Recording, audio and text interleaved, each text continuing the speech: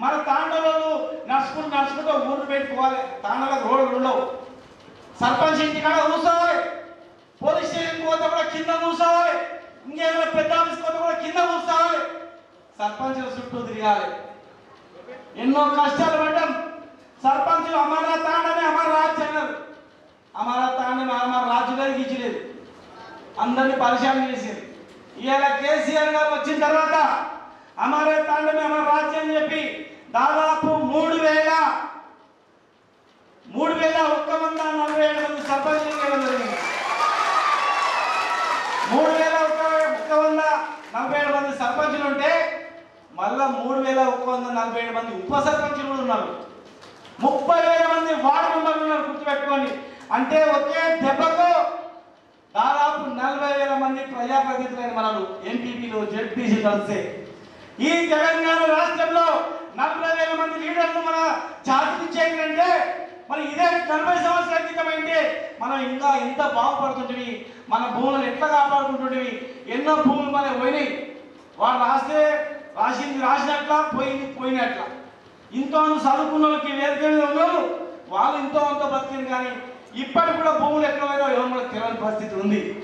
మరి మనమే సర్పంచ్ అంటే ఇవాళ మాట్లాడుతున్నాడు మా సర్పంచులు మాట్లాడుతున్నారు. మా ఉప సర్పంచులు మాట్లాడుతున్నారు. ఇవాళ మా రాంబాయి నాయక్ గారు ఎస్టీ కమిషన్ మెంబర్ కానీ తెలంగాణ మొత్తం గర్జిస్తా ఉన్నాడు డాక్టర్ రైతు ఎంతో సేవ చేస్తా ఉన్నారు. మరి ఎంతమంది సేవ చేసినా ప్రభుత్వం సహాయం చేస్తే తప్ప మన జాతికి మేలు జరగదు.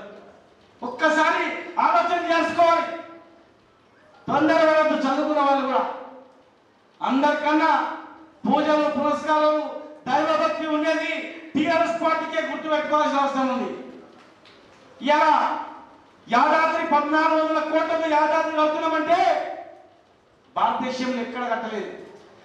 దాదాపు ముప్పై నలభై వేల మంది ప్రజాప్రతినిధులు మన నమ్మడం ఏంటంటే టీఆర్ఎస్ ప్రభుత్వం చొరవని గుర్తు పెట్టుకోండి. బడుగు బలహీన వర్గాలకు ఎస్సీ ఎస్టీ బీసీలకు మార్కెట్ కమిటీ కమిటీలలో కూడా రిజర్వేషన్ వచ్చిందంటే అంతకుముందు మన మార్కెట్ చర్యలు ఎవరు ఉండకుండావి.